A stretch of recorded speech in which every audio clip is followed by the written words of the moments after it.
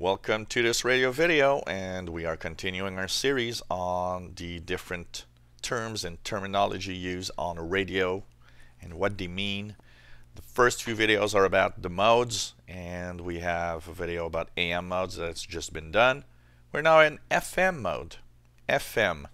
Now on my receiver here because that's the front end of my ICOM receiver. You might wonder I got FM and I've got something on the left that's called WFM.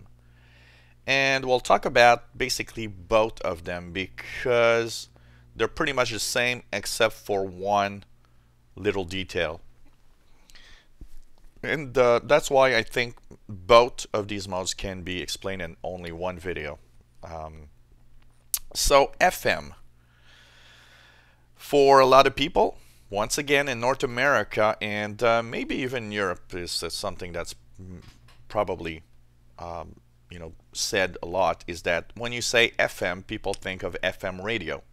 Listening to music on your boombox or so on uh, or listening to FM radio on your car.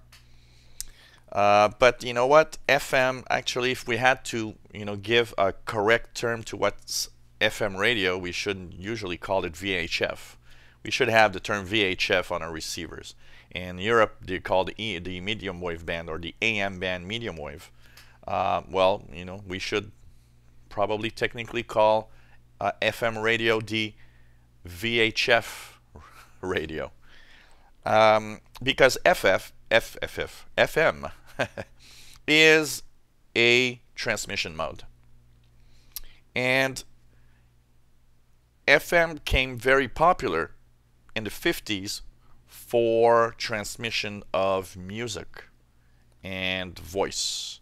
Why? Because it actually has an interesting um, capacity of resisting a lot of interference. So even a signal that has noise, uh, most of the time a decent signal with noise is easier understood and is of better quality on FM mode than on AM mode. And that's why FM is very often an all or nothing mode. If you notice that when you go to uh, fringe areas, for example in your car, you're driving around, and you notice that the FM signal, when you get far away, drops and comes back. If you notice, um, usually it's I listen and I hear what it's saying, and or else I barely understand or don't understand at all what's being said. And that's what's happening with FM compared to AM. AM out, even on the weak signals, you still understand, you still hear it. There's a little bit more noise on it, but you still understand what's being said. Yet, a stronger signal on FM is usually very clean, very crisp. And an AM signal that is stronger will still have some kind of noise over it also.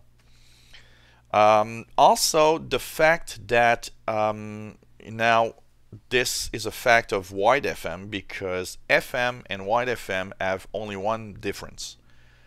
FM is of a certain size and is sometimes called narrow FM on some receivers because it is of a very small size. Typically an FM signal or narrow FM signal is not much bigger than a AM signal in its footprint. It might actually be, you know, only of about five or six kilohertz um, bandwidth. But a wide FM signal is much bigger, takes much more space on the spectrum. So you can actually space FM signals 5 kilohertz apart, but you can you know put wide FM signals much wider. Typically, um, I think on the FM band, it's um, 30 kilohertz if I'm not mistaken. It's very wide compared to a narrow FM signal. Now that the reason why wide FM exists is because the wider a signal, the more information you can send with it. It's a little bit like on the internet. The wider the bandwidth of the cable that brings the internet to your home, the faster your internet's going to be because there's more space for information. And a wide FM signal is used on the FM band for that reason. It's because there's much more information, so the sound quality is much better. Typically, an wide FM signal is probably close to um, you know CD quality, and um, there's a lot of information there, um, and you know it's probably not CD quality, but it's I would say it wasn't probably is not very far from it.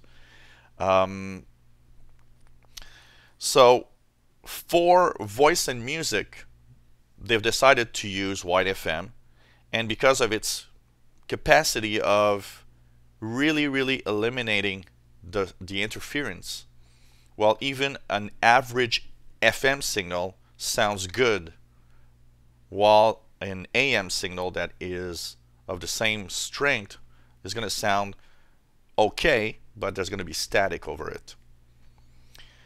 Like I said, the thing is, FM signals tend to drop out very fast. They usually are an all or nothing mode very often.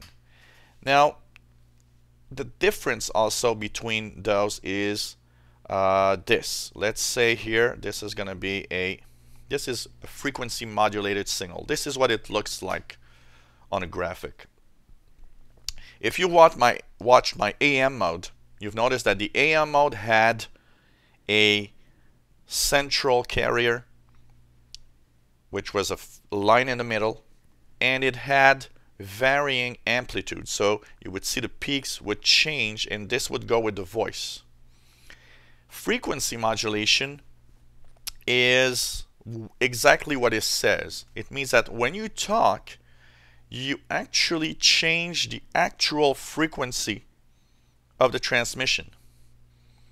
So as you're talking, the frequency goes up or down slightly, varying with what you're actually transmitting in a very fast pace. So the waves actually compress or get a little uh, more amplitude between each of them.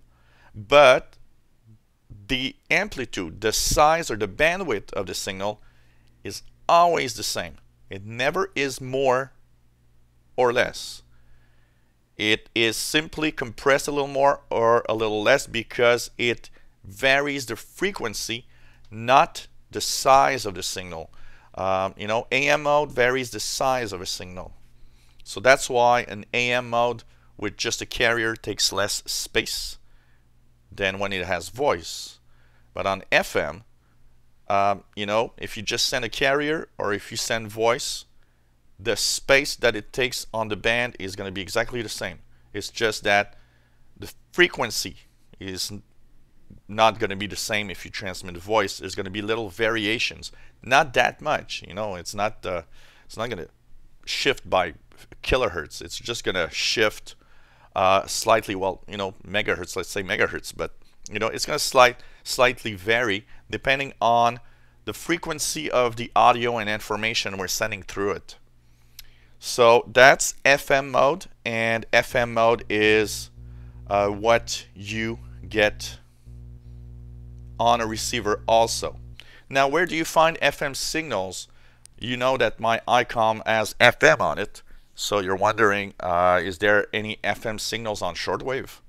Yes, there are. There aren't wide FM. I've never received any wide FM signals, although, you know what?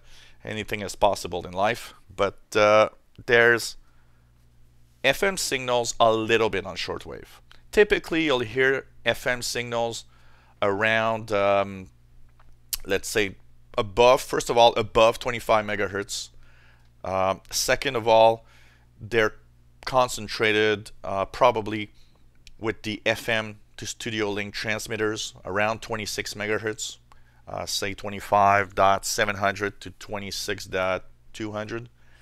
There's a little bit of FM in the out of banders. So um, if you listen to out of band transmitters, um, you know, people calling CQ on 26 or 27 megahertz, uh, some of them use FM, but it seems to be more popular in Europe than it is in North America. And uh, the last space where you'll see FM is in the 10 meter amateur radio band, where uh, roughly from about 29.300 up to 29.700, you'll have FM signals. And actually, in the 29.600 to 29.700 range, there's actually some uh, FM amateur radio repeaters that are used. So um, there's a little bit of stuff on FM.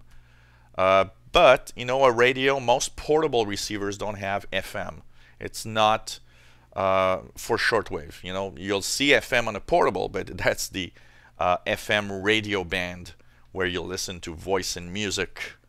Um, most FM mode signals on a um, communications receiver like mine is for, in this case, this receiver goes also on VHF, UHF because above 30 megahertz FM is very popular or narrow FM. But uh, it is there also because there's a little bit of stuff on FM, but that's not a mode you'll be using a lot. And you know what? If you don't have FM on your radio, it's not really a problem because you can tune FM signals on shortwave by simply putting your radio on AM mode and just tuning off frequency. And there's a good chance you'll still be able to understand what they're saying. And like I said, FM and wide FM is simply that. There's FM that uses a certain bandwidth, say 5 kilohertz, and wide FM is wider. It's meant for signals that use larger bandwidths like 30 kilohertz, for example. So uh, that's pretty much it. FM is there because it is um, also um, much better on the audio than AM mode. So you'll have on FM you'll have better voice, and on wide FM, you, of course, you'll have you know real good clarity for uh, even music. And um, as for the electronics, well, a receiver that gets FM is technically a little more complex than a receiver that gets AM because the technology is different. So you'll need, you know, a little more circuitry to uh, decode FM signals than you would with an AM signal. And that's why FM was not there at the start because it required uh, more complex receivers and especially in the time of tube receivers. It's a little more difficult. So uh, this was FM and wide FM. Hope that you understood something about what I said and that I'm not too scrambled the things I was saying. And hope you enjoyed this series on the different terms and abbreviations and terminology we use in radio.